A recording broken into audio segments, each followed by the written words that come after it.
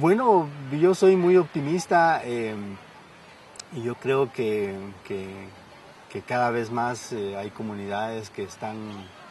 eh, haciendo esfuerzos para manejar, cuidar sus recursos, pero que también hay comunidades que están valorando el potencial que tiene el bosque en sus estrategias de vida.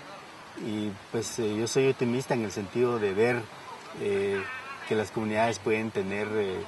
un espacio más importante dentro del conjunto de la economía forestal del país, es decir, eh, eh,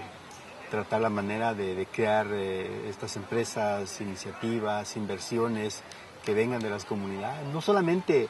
pensando en manejo de bosques, sino también, o en aprovechamiento de madera, perdón, sino también en toda una serie de actividades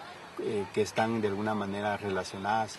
ya de hecho tenemos en Guatemala comunidades que aprovechan el agua, o sea, eh, tienen empresas de distribución de agua, producción de agua a partir del manejo de bosques. Tenemos comunidades que manejan empresas eh, de ecoturismo, por ejemplo, a partir precisamente de los bosques. Tenemos eh, comunidades que de alguna manera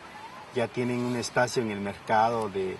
bienes y servicios forestales y también de industria forestal. Hay comunidades que tienen ya eh, mucha capacidad de transformación y de producción de, productos forestales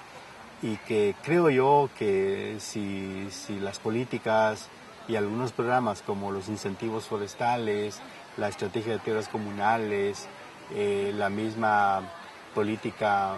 esta de, de, descentralización y de desarrollo rural pueden articularse, pues el espacio eh, que pueden tener las comunidades puede ser mayor. Además de eso, hay un contexto internacional, ¿verdad?, que tiene que ver con el cambio climático principalmente,